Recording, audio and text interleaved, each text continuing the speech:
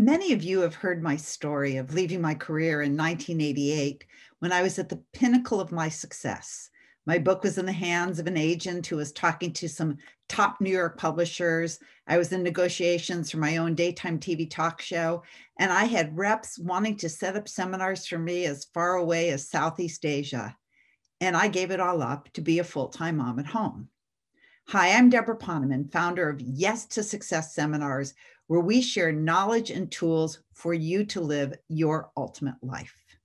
Anyway, I didn't exactly sit at home and and uh, hand sew my children's clothing and churn my own butter, but I lived each day following my heart and doing what made me happy, which was being the room mom and the team mom and the field trip mom and the holiday party mom, and I loved every minute of it, even though my colleagues had thought I had gone out of my mind.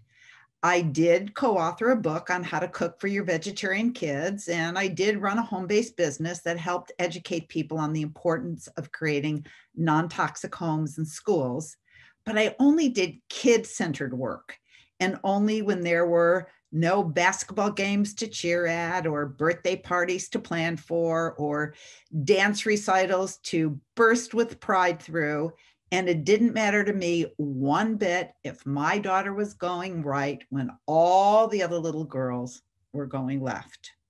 And there were very few nights when I didn't tuck my children in bed and kiss them goodnight. But here's the question Was I always grateful that I'd listened to my heart and took almost 20 years away from my career? Well, there were certainly moments when the answer was no when I really doubted that I'd done the right thing, like during my kids' teenage years, when I started to believe that everything I thought I had done really right, in fact, I had done terribly wrong. and maybe they would have been better off had I been on the other side of the ocean giving a yes to success seminar, like somewhere in Singapore, instead of hovering over them.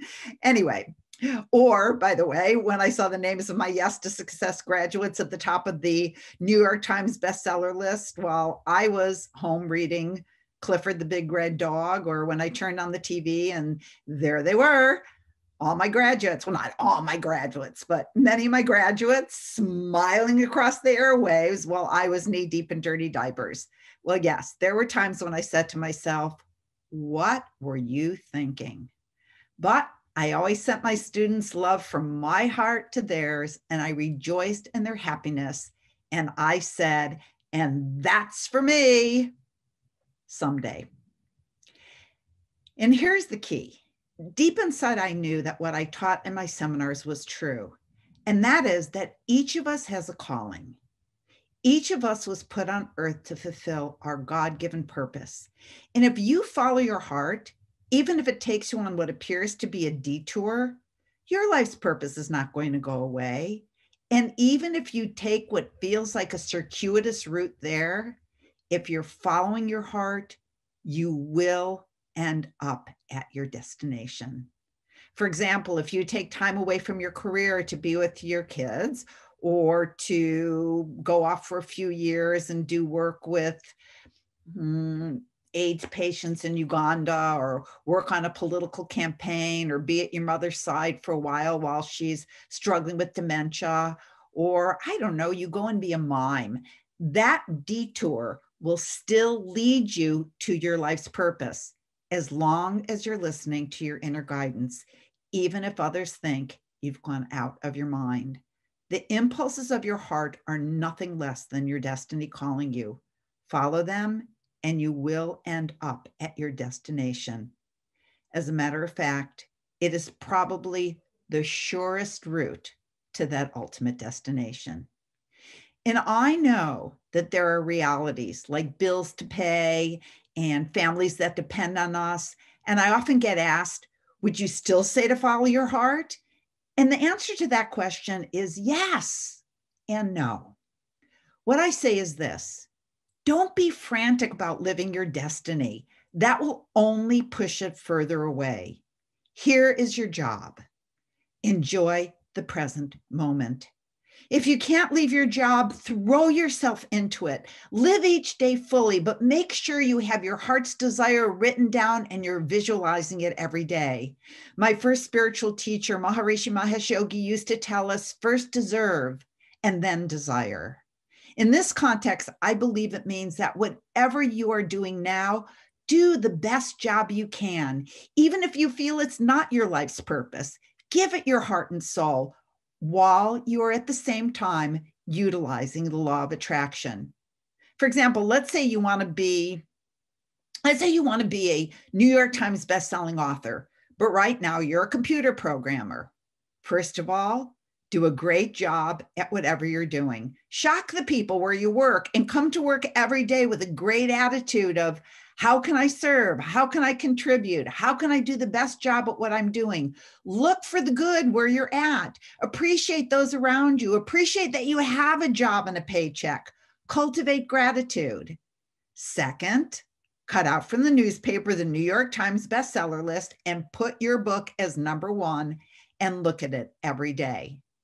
And number three, take decisive action. Take at least one concrete step closer to your vision every single day. Do not put that beautiful head of yours on the pillow without taking at least one measurable step that day. You have to get the momentum going, like the little engine that could. Every day, just chug along. One day, write the intro. The next day, write the dedication. Then read a similar book. Then do a half hour of research. Then write the table of contents. Content contents and be accountable. You know, I often tell people don't share your sacred ideas with everyone. What is sacred must be kept secret. And I absolutely believe that. Don't just go around telling everybody your ideas because you know you're going to bump up against the discouragement committee who are they're going to put doubts in your mind about how brilliant your idea really is. But if you want to make progress and you could find someone you really, really trust with your sacred idea, then you can check in with them every day or every other day. Get an accountability buddy, someone who will really hold your feet to the fire and you will hold theirs as you make progress towards your goals. So that's how you get going on your dream. And I love the quote that goes, luck is what happens when preparedness meets opportunity. People oh, you're so lucky. Yeah, that luck took a lot of hard work.